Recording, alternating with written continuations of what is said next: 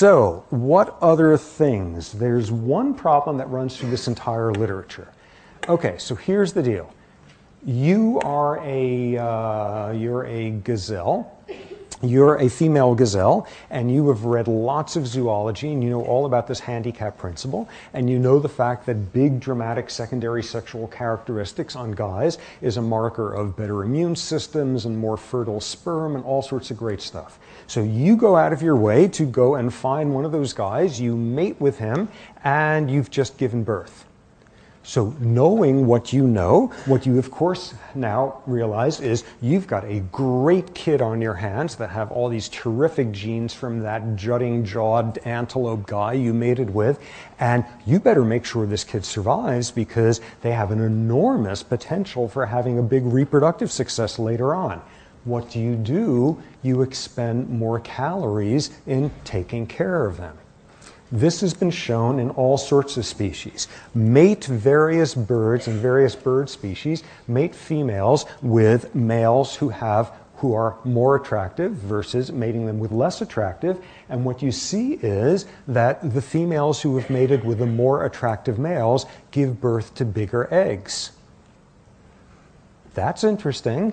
Okay, so you're seeing the evidence of the good genes coming from the guy. Male genes have nothing to do with egg size. It is how much protein the mother puts into the egg production and the egg development. And what you see is she makes this a self fulfilling prophecy. In a lot of species now, it has been shown that when females mate with more attractive males, they put more effort into having the offspring survive. The offspring survive better. And yes, what do you know? You really do want to mate with guys with big antlers and that sort of thing. This big problem with self fulfilling stuff.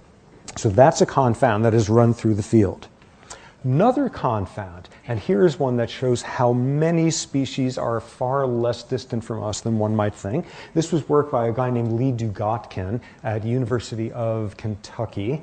And what he does is study ospreys or some kind of bird thing that runs around. And what he does is he first gets a male and female osprey and he introduces them to each other. And what he looks for are circumstances where the magic does not occur. There is no chemistry between them. The female rejects the guy. And at that point, what he does is, in the next round, he makes the male appear to be very popular. He puts the male here and he takes a whole bunch of stuffed female birds and puts them around in a circle around him, gawking at him with rapt admiration and just frozen in their place at the wonders of like the coloration on his bills from eating who knows whose feces. And what you see then is the female who spurned him is now more likely to do solicitative uh, courting gestures with him. In other words, she's jumping on a bandwagon and this has now been shown in a number of species. What's the logic of this? This is exactly what secondary sexual characteristics are about. I don't understand why anyone considers that to be attractive. This individual does nothing for me, but if it appears to be the case that those traits are very popular and thus those traits are predictors of being able to pass on many copies of your genes, I sure want my kids to have those traits. And thus this bandwagon effect. So all of these are versions of just shallow, shallow, horrible values versions of who one looks for in a mate.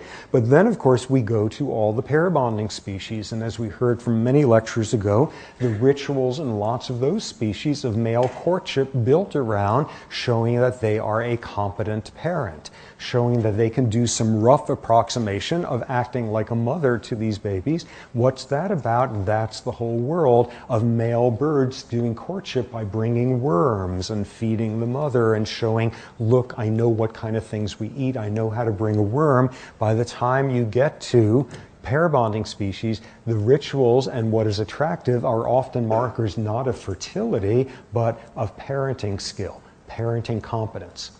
Flip the other way, in most non human primate species that have been looked at, when are females most attractive to males, independent of the size of their estrus swelling, when they've already had a couple of kids? Females, the first time out rounds of ovulating, are less preferred than females who have had a number of kids already. If it is the same thing going on, what she has already proven is she's competent enough that she didn't kill the kids by dropping them out of the tree at various points, this being as a marker, again, of competence.